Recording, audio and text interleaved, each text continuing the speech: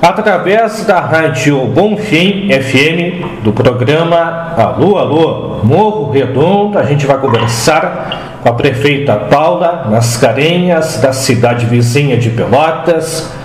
Importante pauta, pois vem sendo noticiado na imprensa que a região sul do estado vai ter o aumento de praças de pedágio e a prefeita Paula, eu sei que no último sábado em Túlio Sul foi uma das pautas dos prefeitos aqui da Zona Sul na festa da pimenta e do morango. Mas inicialmente uma boa tarde, bem-vinda à Rádio Bonfim. Uma saudação, a gente poder conversar contigo e falar desta pauta importante para a Zona Sul do Estado. Bom dia, Jones, muito obrigada. A satisfação, a satisfação é minha de poder falar contigo é, com a equipe da Rádio Bonfim e com os ouvintes, sobre esse assunto aí que é tão importante, afeta tanto a nossa comunidade aqui da Zona Sul. Importante, né? Essa pauta, uh, a gente sabe da demanda, da duplicação, mas essa vai pesar no bolso porque a gente já paga os pedágios mais caros, né? Exatamente. Olha, Johnny, eu, eu uh, tenho uma posição conceitualmente que não é contra, ao contrário, até sou favorável à concessão de rodovias e aos pedágios uh, para que as estradas se mantenham né, qualificadas, seguras uh, para os cidadãos. Mas, claro que tudo é uma questão né, de custo-benefício, é uma questão de razoabilidade. Eu tenho falado muito nisso, nessa, na, na razoabilidade, que é um princípio constitucional que normalmente não é levado em conta. Né? Uh, a razoabilidade quer dizer a sensatez, o bom senso, o equilíbrio. As coisas têm que ter equilíbrio. Nós, desde o início dos anos 90, quando foi instalado esse pedágio aqui na nossa BR-116, na 392, a nossa região uh, paga um pedágio altíssimo. Uh, sempre foi muito mais alto que a média do pedágio brasileiro. Ah, agora, nós estamos ainda sem ver a conclusão dessa obra, que é fundamental, que é a BR-116, uh, que já devia estar pronta desde 2014, 2015, nós estamos em 2022 e não vemos né, a conclusão dessa obra, já o ano que vem não vai acontecer, quer dizer, não sabe quando vai acontecer, e vem o governo federal já nos uh, ameaçando né, com mais três praças de pedágio e três praças de pedágio que não vão ter. Uma parece que é, o, pedágio seria no valor de 2 e alguma coisa, mas as outras duas de 8,60. Agora, isso no NAD até de, de, de Camacuã a Porto Alegre. Agora se imagina o seguinte, soma essas três praças, mais as duas que temos até Pelotas, mais uma até Rio Grande, e uh, nós vamos pagar de 100 reais, estava fazendo a conta, né? mais quase 115 reais para ir de Rio Grande a Porto Alegre e de volta, uh, o que é um absurdo, porque essa, esse trajeto né, de Porto Alegre, da região metropolitana Rio Grande, é a via da nossa economia, do nosso desenvolvimento econômico, que liga a região uh, da capital, a região metropolitana, ao principal porto do estado. Por aqui passam as cargas né, que garantem uh, o desenvolvimento da, do nosso estado, não só da nossa região então, estrategicamente, é um tiro no pé colocar, moderar demais essa estrada. Uh, e eu digo também sempre, além disso, tem o turismo, né?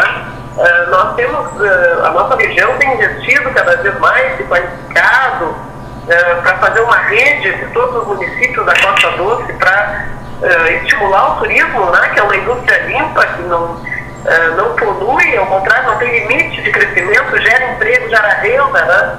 da população. Como é que nós vamos atrair turistas, né, Johnny, com um pedágio desse, dessa, desse valor? Né? Então, é, na verdade, eu não entendo, é um tiro no coração de uma região que é empobrecida, que merece ter uma atenção especial do Estado, do, do, do Estado gaúcho, mas também do Estado brasileiro, governo federal. A gente espera, né, a gente esperava que o governo federal compreendesse essa situação aqui e fosse parceiro, né, e não um entrave ao nosso desenvolvimento.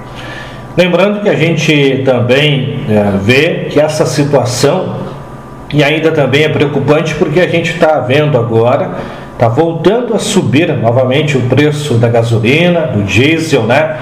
Isso afeta porque mais tendo esses, essas novas praças de pedágio aí em planejamento pelo governo, isso vai encarecer cada vez mais o destino do pessoal que vem para cá, para a zona sul do estado, quem também sai daqui para fora, e também os produtos também encarecem mais ainda, né?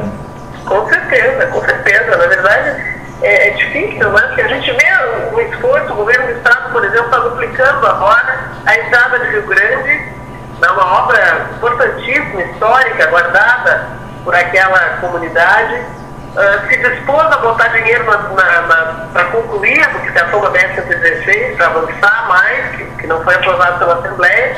Mas, enquanto isso, veio o governo federal nos criando dificuldades, nos criando obstáculos, atingindo em cheio né, o bolso da população que vive aqui, mas também atingindo em cheio a possibilidade de progresso, de desenvolvimento que vem com esse transporte de cargas para cá, que vai ficar muito mais barato na região norte do estado, para a Serra Gaúcha, andar por Santa Catarina, pelos portos de Santa Catarina, o seu produto de exportação, porque paga muito menos pedágio para lá do que usar os portos de Rio Grande, que é o que gera emprego aqui, que é o que põe recursos nos cofres do Estado, que pode reinvestir então, realmente atingem muito, atingem cheio a nossa comunidade. Nós, eh, sábado, os prefeitos se reuniram no município de Turuçu, como tu disseste, na festa do Morango da Pimenta, e decidiram, que nós, nós decidimos eh, resistir, quer dizer, fazer toda a pressão para que isso não aconteça dessa forma, nesses moldes,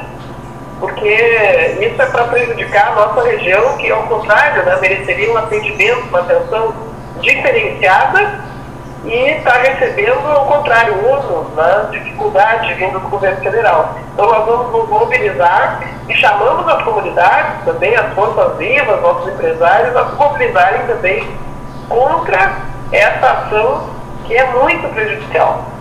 A gente aqui na cidade temos aí cinco indústrias de conserva aí, né? Trabalho agora nos próximos dias já com pêssego, tem algumas que trabalham ao longo do ano com outras frutas, isso também encarece e muito, né? Porque o pessoal, a matéria-prima que o pessoal compra também, né? Então, e vem toda pela BR, né? Isso, é, isso que é uma isso vai encarecer, vai encarecer o produto, o produto final vai, vai dificultar para a indústria que já está enfrentando dificuldades, não está fácil. Eu, eu, conheço o pessoal uh, da indústria aí do Morro Redondo uh, e, e, sei o quanto eles estão lutando com tantas dificuldades e agora vem mais uma, né? Ao invés de encontrarem um aliado do governo federal, encontram mais um obstáculo. Não, não é fácil, a gente precisa reagir contra isso e no que depender dos prefeitos, estaremos todos juntos na Irmanato na causa de evitar que isso aconteça com a nossa região. Aproveitando, prefeita Paula, a gente sabe dessa pauta que é tão importante aqui para a nossa Zona Sul e a pauta do momento, uma reivindicação de vocês. Mas você que acompanha o cenário da Zona Sul aqui, algumas outras pautas importantes também. Sabe que a gente está num período agora de votação da eleição, segundo turno aqui do Estado e a nível federal, mas também sabe que a Zona Sul ela pleiteia, né, junto aos candidatos que estão concorrendo, algumas demandas, e tem demandas que tem demandas que já existem há alguns anos aqui na nossa metade sul do estado. Mas é importante até conceituar o ouvinte do que vocês também estão pleiteando também nesse período, que é, é, importante para também se conseguir algum compromisso de quem está concorrendo no pleito. Sim, é verdade. Né? O pessoal costuma, em época eleitoral, fazer pressão né, para tentar ter algum retorno.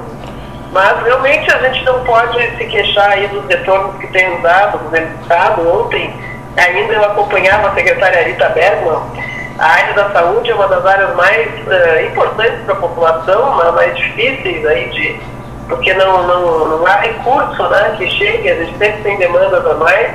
E eu acompanhava a secretária Rita porque assinando convênios de repasse de recursos para os nossos hospitais aqui de Pelotas, que atendem aí o Morro Redondo, atendem a toda a região, a Santa Casa, a Beneficência e o Hospital Universitário de São Francisco de Paula. Os três receberam, nos somados, 2 milhões e meio de reais para compra de equipamentos. Isso é muito positivo. para a nossa saúde, porque vai permitir que os hospitais atendam, né, atendam mais e melhor, com mais qualidade. Temos também o nosso Hospital de Pronto Socorro, em obras, né, no Pedro Gonçalves, o Hospital de Pronto Socorro com 100 leitos, fora os de UTIs, né, 120 leitos no total, que vai poder também colocar a nossa saúde em outro patamar. Então, eu tenho essa perspectiva é muito importante na área da saúde. Né? A gente tem uma, uma expectativa de que com o hospital pronto a gente consiga realmente dar um atendimento uh, mais qualificado para toda a região. E no lugar, a equipe do PS atualmente ela é muito boa, o que precisa de, uma, de um local mais adequado, é isso que nós teremos. Né? E estamos mobilizados também, foi falado em Tudo Sul, Jones, pela luta pelo hospital uh, o Hospital Escola, pelo, pelo, não, o, o novo prédio do Hospital Escola. O, o, a fase 2 né, e a fase 1 um do hospital, que só tem a fase 3 né, uh, do Hospital Escola, da Universidade Federal, que vai também permitir, hoje tem, tem 175 leitos, e conseguindo os recursos, eles passarão a ter 250 leitos, que também vai ser importante, o único hospital 100% SUS da nossa região, vai permitir também uh, né, que a gente tenha muito mais condições de atender os pacientes, toda a demanda de Pelotas e de toda a região. Então, nós combinamos de acompanhar a reitora Isabela nesse pleito, a bancada gaúcha no Congresso Nacional, para que eles destinem uma emenda de bancada para que a gente possa seguir com as obras né, e ver o hospital, uh, escola também se tornar uma realidade nos próximos anos em Pelotas. Tem muitas coisas que nos unem, mas eu estou hoje falando mais de saúde porque a gente sabe que é uma pauta muito importante para a população. Né? É, não, não, é como eu disse, todo investimento é bem-vindo e necessário nessa área. A gente sabe que está muito eh, essa, esse período eleitoral aí, principalmente a nível nacional, está tendo muitos atritos aí, principalmente nas redes sociais. E a gente está vendo muito pouco, né? não sei se na análise tua, de se debater o futuro do nosso país e melhorar, como a senhora falou, aí a parte da saúde, né? A gente sabe da tabela SUS também, né? Que tem que ter um acréscimo de recurso, né? Então, é, é muitas coisas que tem que, que avançar e a gente está vendo muita discussão e, e chamando um de mentiroso, outro de mentiroso, muita acusação e tem que pensar para frente, né?